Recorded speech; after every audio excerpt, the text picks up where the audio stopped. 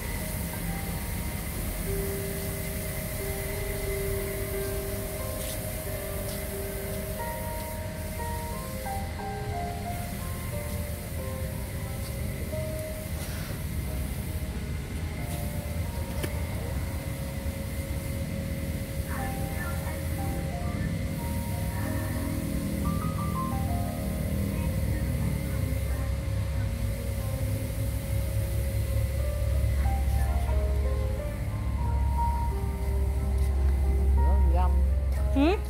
đúng rồi